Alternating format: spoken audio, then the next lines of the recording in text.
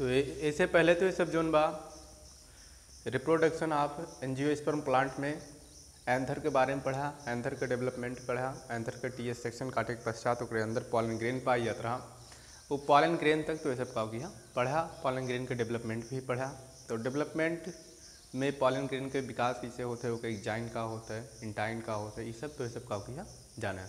तो अब ओकरे सबसे फ्लावर के मेन प्लांट मेन पार्ट के बारे में, मेन पार्ट मतलब ओके जो गाइनीशियम के या कैसे कहते हैं मादा जनन अंग के बारे में हमें का करे है पढ़े है तो मादा जनन अंग में तुम्हें फ्लावर में बताई गए कि जो बा सबसे मध्य में ये भाग पाई जाता है या बीच में पाई जाता है। और ऐसे भी जो है कुछ गैमिट बनत ही, और यह जो बा मादा जनन अंग ही जो है निषेचन क्रिया के सबसे महत्वपूर्ण अंग है। जैसे एंथर वाला सबसे महत्वपूर्ण अंग रहा, वैसे ये भी जो है सबसे महत्वपूर्ण अंग है। तो यहाँ पे फिगर के माध्यम से समझा जाए बा तो फिगर के माध्यम से समझे प्रयास करा।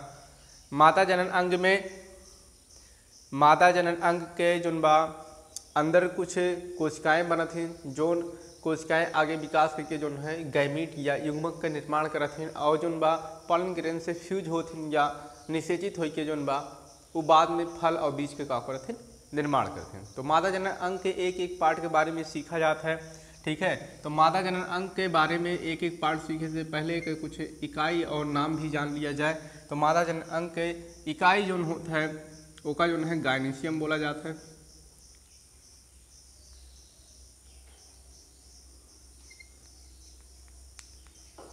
गाइनीशियम या स्त्री केसर का बोला जाता है, या एक पेस्टाइल भी बोल सकते हैं। या एक और एक नाम बा, कार्पेल भी बोल सकते हैं। तो अलग अलग बुक में अलग अलग नाम तुम्हें जो है देखे का मिल जाए। तो एक हम गायनीशियम, पेस्टाइल या कार्पेल तीनों नाम से जान सकित है। ई जोन बा मादा जनन अंग के एक एक इकाई है। जैसे कई सारे फ्लावर में कई गायनीशियम एक साथ जो है का होते हैं, प्रेजेंट होते हैं। लेकिन ये रेयर कंडीशन में होते हैं, ना ज़्यादातर फ्लावर में एक ही गायनीशियम का होते हैं। प्रेजेंट होते हैं या उपस्थित होते हैं अब यहाँ पे गायनीशियम का हम पेस्टाइल भी बोली थे और कार्पेल भी बोली थे एक एक का हो इकाई हो। इकाई मतलब एक गायनीशियम का हम पेस्टाइल भी बोल सके थे और कार्पेल भी बोल सके थे तो गायनीशियम की तरफ़ चली थे या जो स्त्री केसर बोला जाता है तो स्त्री केसर के नीचे जहाँ पे ई जुड़ा होता है, जहाँ पे ई जुड़ा होता है उसका थैलमस बोला जाता है।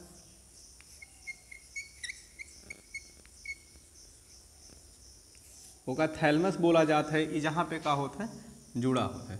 तो नीचे जहाँ पे जुड़ा होता है, या गाइनीशियम जो से ऊपर की तरफ़ जुड़ा रहा था ओका का बोला जाता है? थैलमस बोला जाता है, जो ने रखा जाता है। तुम्हें फूल वाले में, जब फूल के स्ट्रक्चर बताया गया फ्लावर का, ठीक है तो हमें बताया गया कि जब सबसे नीचे वाला जो पार्ट होता है उसका थैलस या थैलमस का होता है, बोला जाता है। ठीक, अब फूल के ऊपर के पार्ट देखा जाए, कुछ फूला हुआ या उभरा हुआ भाग होता है एक हम जो है, ओबरी बोली थे। का बोली थे? ओबरी। फूले हुए भाग का हम का बोली थे? ओबरी बोली थे। अब उसके ऊपर वाले भाग के फूले हुए भाग जो यहाँ फूला हुआ भाग बा तोहार एकदम फूला सा लागत बा कि गोल सा मेटी जैसन, ठीक है? या फ्लास्क जैसन कह सकते हैं, कि ये जो है लागत बा, और ये जो बा, उभरा हुआ भाग बा हम ओबरी बोली थे। ओकरे ऊपर एक डंठल नुमा संरचना होता है या कह सकते हैं पाइप जैसे हमें कुछ दिखाई देते यहाँ से यहाँ तक, ठीक है? तो ये पाइप नुमा संरचना का हम का बोली थे स्टाइल बोली थे इंपॉर्टेंट बाय में सब कुछ नाम ही इंपॉर्टेंट है, ध्यान से देखत चलबा। कापी नोट डाउन करत रहबा तो सब कुछ का होइए याद होइए और सिर्फ़ देखत रहबा कापी नोट डाउन न करबा तो याद ना हो बा। तो कापी में याद करे ताई हमें नोट डाउन भी करे पड़े तो कापी कलम साथ रहा है और नोट डाउन भी का करत रहा करत रहा। तो आगे फिर स्टाइल है। स्टाइल के ऊपर सबसे कुछ देख याद बा कि जोन बा, कुछ जैसे ऋषि तपस्या करते कुछ वैसे जोन बा उनके ऊपर वाला जोन बना रहा था वैसे स्ट्रक्चर बना बा, या कह सकते हैं, कुछ बीन लाइक या सेम के आकार के बीच के जैसे कुछ संरचना बना, बीच में खास है। ठीक है? एक बोला जाता है का स्टिग्मा तो ये स्टाइल के, या कह सकते हैं, पेस्टाइल या कार्पेल के जो बा जोन बा पूरी नाम है, तीन भाग में डिवाइड कर दिया गया बाटे ओबरी, स्टाइल और स्टिग्मा। ये तीन भाग में का किया गया बा डिवाइड किया गया बा या बांट दिया गया बा तो सबसे नीचे वाले भाग का ओबरी और ऊपर वाले भाग का स्टाइल और सबसे ऊपर वाले भाग का का बोला जाता बा स्टिग्मा। एक तीन भाग में डिवाइड कर दिया गया बा अभी तीनों भाग में जो डिवाइड किया गया बा अपन अपन सबके काम है, ठीक है? तो स्टिग्मा का है, स्टिग्मा इस फ्लावर का सबसे ऊपरी पार्ट होता है, जहाँ पे जो बा पॉलन ग्रेन आय का होता है, रुकत है। तो स्टिग्मा के ऊपर कुछ जोन बा लिक्विड जैसन या कह सकते हैं गम जैसन या गोल जैसन कुछ जोन बा, चिपचिपा सा पदार्थ होता है, जोने का बोला जाता है स्टिग्मेटल फ्लूड का बोला जाता है? स्टिग्मेटल फ्लूड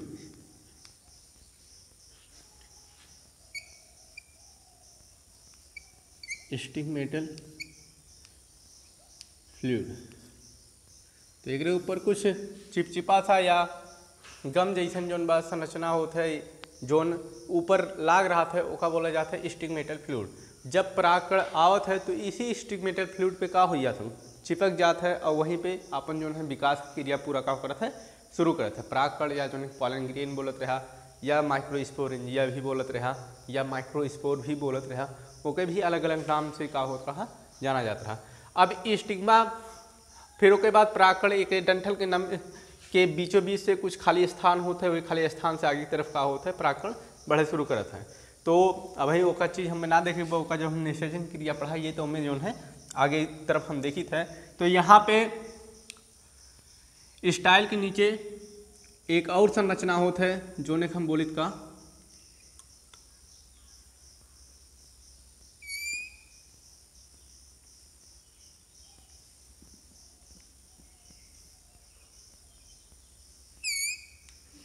जोने हम बोलित का?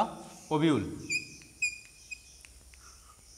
का बोल जाते हैं? ओब्यूल बोल जाता है। ये ओब्यूल जोन बाटे प्राक प्राक, नहीं सॉरी गायनीशियम का सबसे मेन पार्ट ओब्यूल ही होता है, जो फूला हुआ भाग होता है। यही के अंदर जोन बाटे वही कोशिकाएँ पाई जाती हैं, जो निषेचन के क्रिया में का होते सहायक होती या गैमीट यानी के अंदर का होती बनत हैं तो हम जो है इधर इतना देख लिहन कि जोन बा ये ऊपर वाले पार्ट के स्टिग्मा फिर स्टाइल फिर ओवरी ओवरी के अंदर एक और संरचना पाई जाती जो ने हम का बोली थे?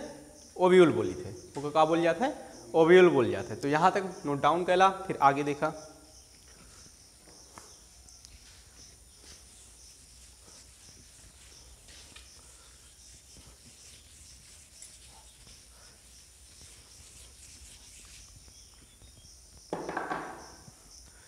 तो अब यहाँ से हम ओव्यूल को संरचना निकालब ओव्यूल के संरचना के बारे में का हुई देखा जाए।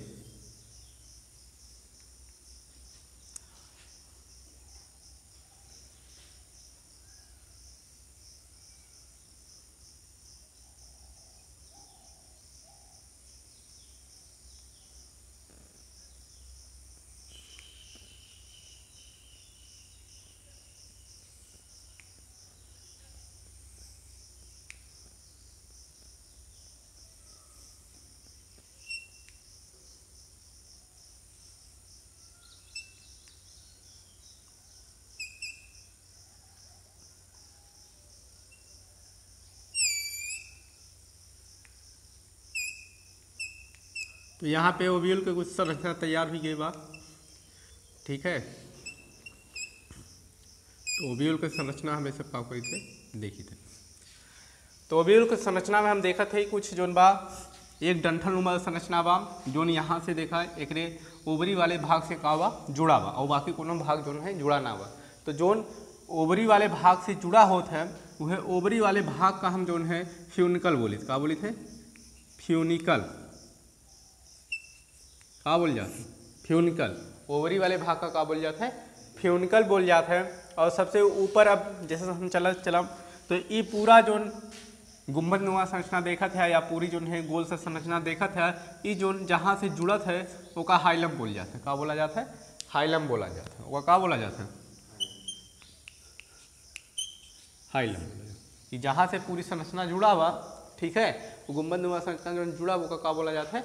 हाइलम बोला जाता है। अब आगे हाइलम के बीच में देख जात बा कि कुछ जो है दीवार जैसन संरचना है जो कुल का कर एक दूसरे का रोके हैं। तो दीवार जैसन या भित्ति जैसन संरचना जो है, ठीक है? तो ये भित्ति जैसन संरचना सबके अपन नाम बा जो सबसे बाहर रहा थी वो का आउटर मेम्ब्रेन फिर नीचे जो रहा थी इनर मेम्ब्रेन ठीक है? तो पूरे का हम जो बा, आवरण बोली थे का बोल जाते आवरण बोल जाते या इंटीग्यूमेंट बोल जाते हैं। इंटीग्यूमेंट। या इंटीग इंटीग्यूमेंट बोला जाता है या आवरण बोला जाता है। ये आवरण जो बा दुई लेयर के का होथिन होथिन या दुई परत होथिन आवरण पे ठीक बा? तो आवरण के परत को होथिन दुई परत दुई परत के होथिन या इन्हें इंटीग्यूमेंट बोला जाता है या आवरण बोला जाता है जो ऊपर से इन्हें का कह रहा थे ढके रहा थे ठीक है? तो अब ये आवरण जो ऊपर से इन्हें ढके रहा थे ये इन्हें प्रोटेक्शन देथिन के का? जो सबसे अंदर बीच देखा था यह मेन वाला पार्ट एक है जो बीच वाला ही पार्ट बा तो ये इन्हें सबसे ज़्यादा का करते प्रोटेक्शन देख काम करा थे तो यहाँ पे आवरण में देखा गया बार नीचे वाले जहाँ पे ये कुछ छिद्र जैसन संरचना देखा था ठीक है? छिद्र जैसन संरचना का जो है माइक्रोपाइल बोला जाता है, क्या बोला जाता है?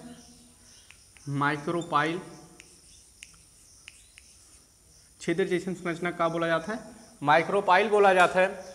अभी जो छिद्र जैसन संरचना बा, जो का माइक्रोपाइल बोला था, यही कहीं जो बा पॉलन ग्रेन के पॉलन ट्यूब जोन बाट है, ठीक है? आगे अंदर की तरफ़ का करे, प्रवेश करे। तो एक माइक्रोपाइल बोला जाता है। माइक्रोपाइल के जस्ट अपोजिट जोन सबसे ज़्यादा विकसित होता है या जो निभाग बोला जाता है या इंग्लिश में चलेजा बोला जाता है। क्या बोला जाता है?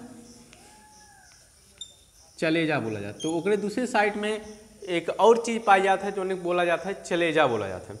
तो ये में जो बा चलेजा और माइक्रोपाइल दोनों जो बा अपने एक का होते हैं सीध रेखा में उपस्थित होते। हैं ठीक है? का होते? हैं सीध रेखा में उपस्थित होते। हैं अब देखा, इधर इतना तो हो कि हमार की जो ट्यूब जैसन संरचना से जुड़ा होता है उसका फ्यूनकल बोला जाता है, ठीक है?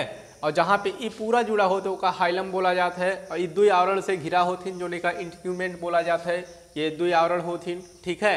जो बाहर की तरफ़ है इन्हें तो आउटर वाल बोल सकत है, और जो अंदर की तरफ़ है इन्हें इनर वाल बोल सकत है, ठीक है? तो बाहर वाले का, आउटर वाल, और इनर वाले का अरे, अंदर के वाले का? इनर वाल बोल सकता ठीक? अब मैं एक और इंटरेस्टिंग चीज़ जो तुमसे जल्दी ना बताई जाता ना ही पूछा जाता है। ठीक है? यहाँ से देखा, एक और हम संरचना बनाए ही। ठीक है? ई जोन बा एकरे अंदर एका जोन है, कही जाता है, वैस्कुलर बंडल। कहा जाता है? Vascular bundle.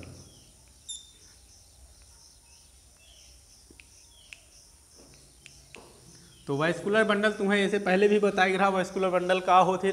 तो वाइस्कुलर बंडल जो है, जाना था कि ये जो है फ़ूड और वाटर फ़ूड और वाटर फ़ूड और वाटर का यन का करत हैं?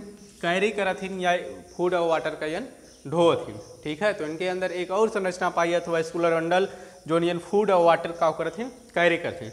तो मोस्ट इंपॉर्टेंट चीज़ बा ये तोरे जो बा हाई स्कूल से स्टार्ट हुए हाई स्कूल में भी बा इतना ज़्यादा डीप ना बा इंटर में है, सब कुछ है, ठीक है? बीएससी में बीएससी के है लगभग, तुम्हें सभी क्लासों में ही जो है मिल जाए, ठीक है? एमएससी में भी मिलेगा।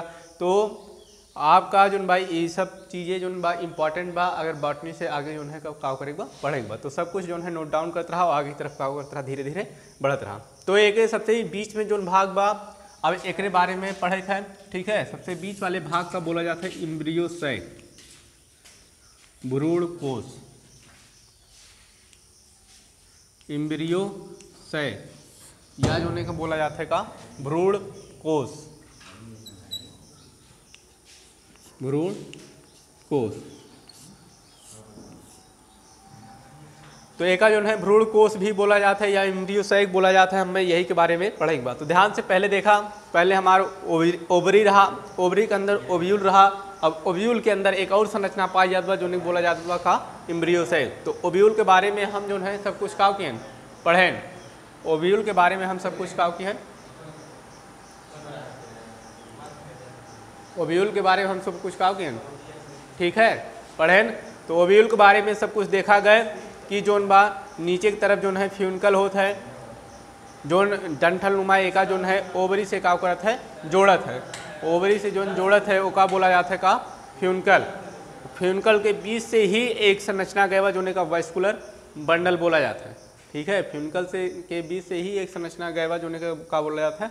वेस्कुलर बंडल बोला जाता है और सब कुछ हमें नाम दिया गया है। एक जोन बा दो आवरण से घिरा होता है जो का इंटीग्यूमेंट बोला जाता है नीचे की तरफ़ एक द्वार होता है जो माइक्रोपाइल बोला जाता है सबसे ऊपर की तरफ़ एक भाग होता है जो निभाग बोला था चलेजा बोला था तो माइक्रोपाइल के जस्ट दूसरे अपोजिट होता है जो का, का बोला जाता है चलेजा बोला जाता है।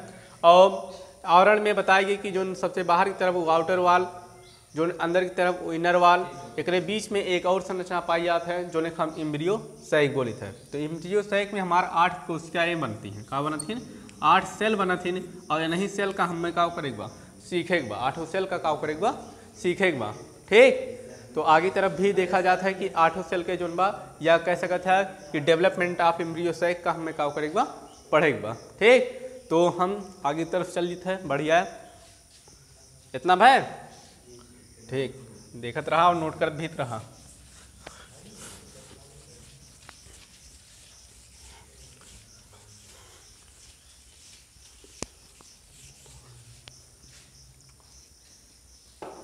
रोक दे एक बार।